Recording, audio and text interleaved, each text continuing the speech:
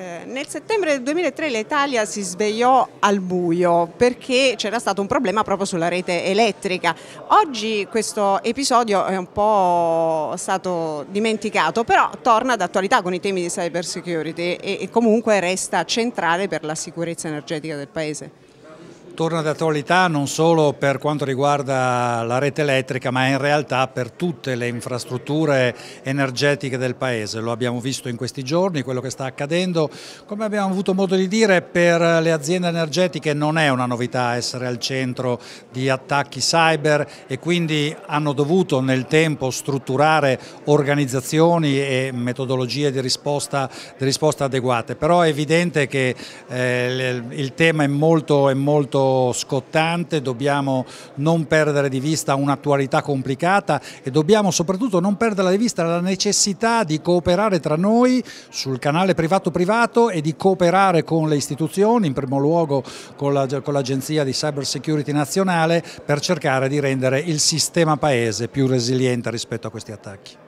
Secondo lei e dal suo punto di vista diciamo, questo tema della sicurezza delle reti è percepito anche eh, dalla popolazione o ancora c'è bisogno di sviluppare una sensibilità e un'attenzione verso queste tematiche? Beh, innanzitutto eh, deve essere sviluppata all'interno delle nostre aziende l'attenzione di tutte le persone rispetto alla cyber security perché oggi ahimè ogni singola persona che lavora all'interno di un grande operatore quindi di una grande rete infrastrutturale potrebbe essere la porta d'accesso a un attacco cyber. Per quanto riguarda la popolazione anche qui queste tematiche devono trovare la giusta diffusione a tutti i livelli dalle scuole alle università ai contesti lavorativi più disparati perché oggi la cybersicurezza si può affrontare solo con un grande sforzo corale, solo con una grande consapevolezza comune.